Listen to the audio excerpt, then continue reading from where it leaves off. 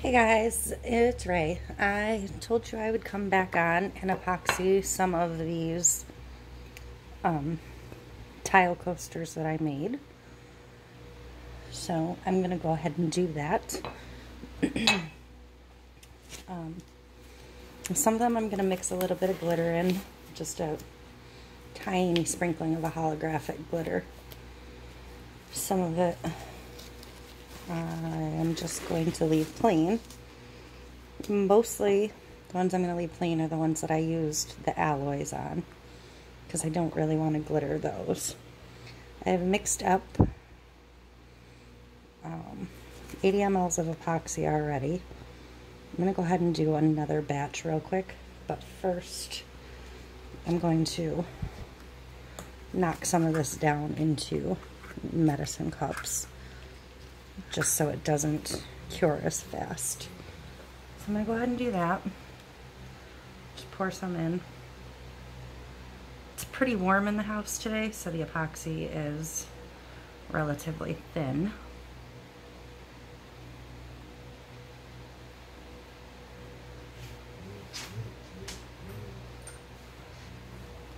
Okay, just to set those ones aside. This is a silicone measuring cup. I have it marked on the outside on the 40 and the 80 mark, so I'm just going to work with those. These are my FIFO bottles that I use for one of my brands of epoxy. They're easy, easy, just to squirt. Makes measuring super simple. So that's 40 of part B. I always put my part B in first and then my part A on top. Because it's so warm, my part A is fairly thin right now, which makes it easy to work with the FIFO bottles.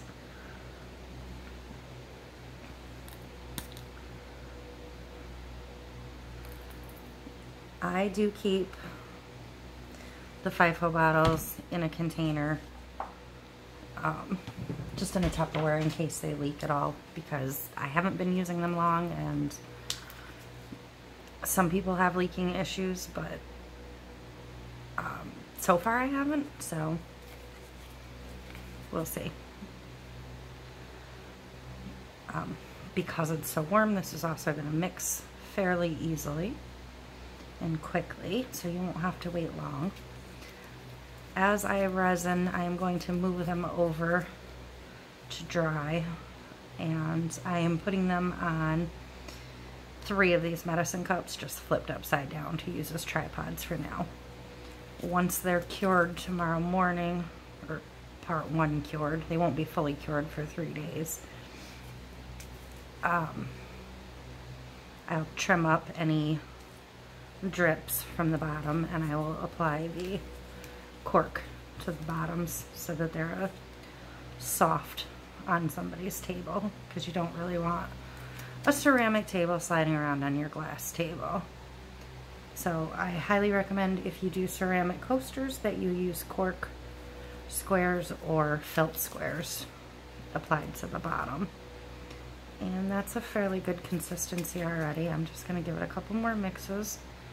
Wipe down my stick.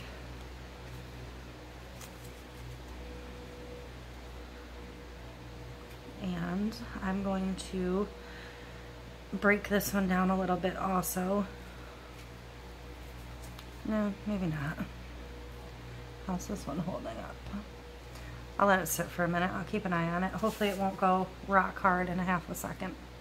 I'm going to take one of these little ones that I've already broken down. I'm actually going to add a little bit more. And I'm just working over a piece of the backer from a stencil vinyl just for something to work on so I don't get resin on the table. And I'm just going to put in a little bit of this glitter. This is just like, it's from AC Moore, of their clothes now, but it's just a very generic. It's called Disco. It's like an opaly holographic. I like to use it. It's unfortunate I won't be able to get more of this exact one anymore. I like to use it for like my phone grips that I decal to go over with just a couple pieces just to add that tiny little bit of extra bling. So I'm not going to use too much because I don't really want it to detract from the coaster itself. Just to add a little extra. you can apply with your gloves or one of these silicone brushes. That'll give you a good flat surface. It doesn't take a lot to cover. Um, I am going to put three of these down like I'm going to move them to to work on. I am going to try with the silicone brush first, but usually I end up using my gloved hand because I get a better feel for what I'm doing. But just to show you. Again, it's just a silicone brush. The epoxy will dry on it and then you just bend it and it peels right off.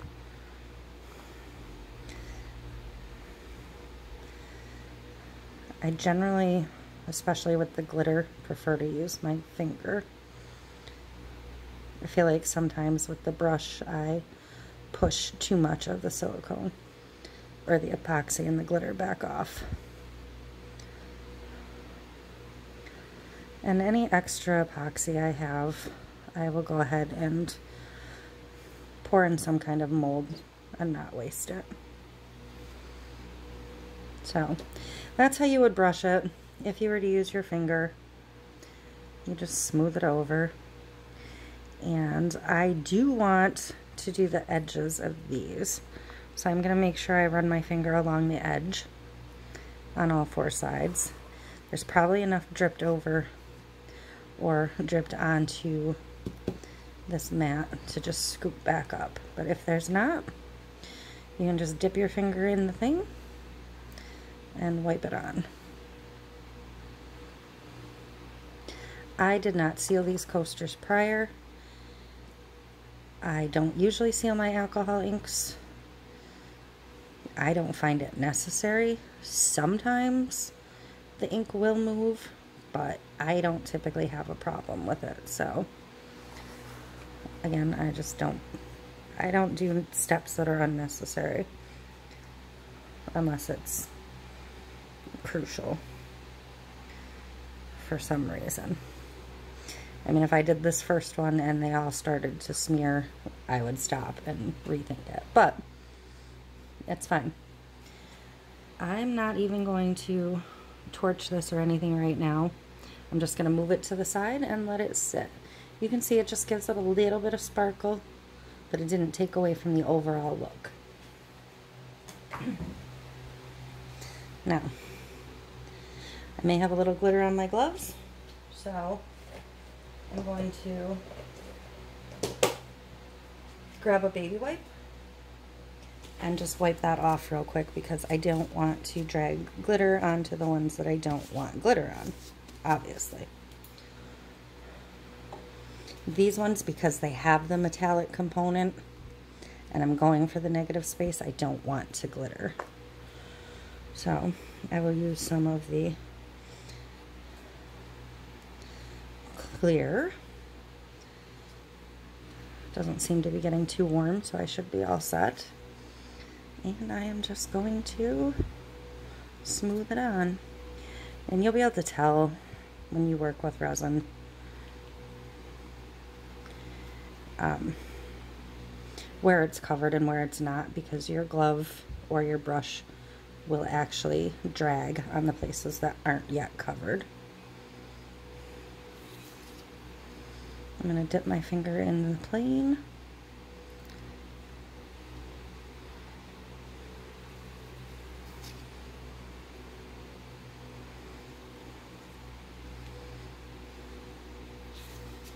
But pretty easy. If you feel you need another coat after this one dries, you can add another coat. If you wait more than 24 hours before you decide you want another coat, you should probably lightly sand. But anything under 24 hours, you can just go right back over. It's pretty warm in here. These are going to be dry to the touch in probably six to eight hours. So if I feel they don't need another coat in the morning, I can probably flip them over long enough to put the cork on the back. And then let them sit face up singly don't stack them until they've had at least um, I'll go ahead and do another one with the with the um, making a shadow. I just made it worse.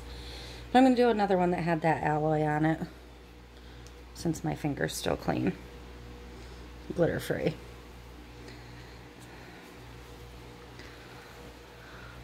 Again, just smooth it on. It's not taking very much epoxy at all for each one.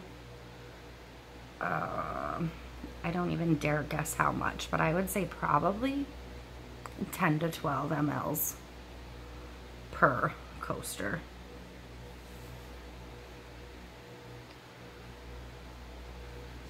They say, well, I shouldn't say that. Um, I want to say it's about an ounce per, or three ounces per square foot of coverage. So if one of these coasters is about four and a half by four and a half, you would need nine of them to do a foot roughly. So you can do your math backwards that way. Um, but that's for more of a pour rather than like a full skim coat. I would say for a skim coat, about an ounce would work for a square foot. So, and I have, I think I have 24 coasters in front of me. There's a couple that I see that I'm not happy with, or when I moved earlier, I put a fingerprint on. So I'm not going to cover those right now. I'm going to touch them up before I cover them.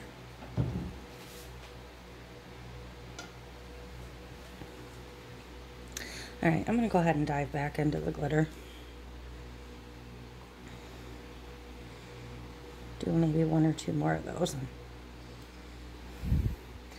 I don't want this to get too long though, because it's not, it's just a repetitive, they're all getting the same thing process.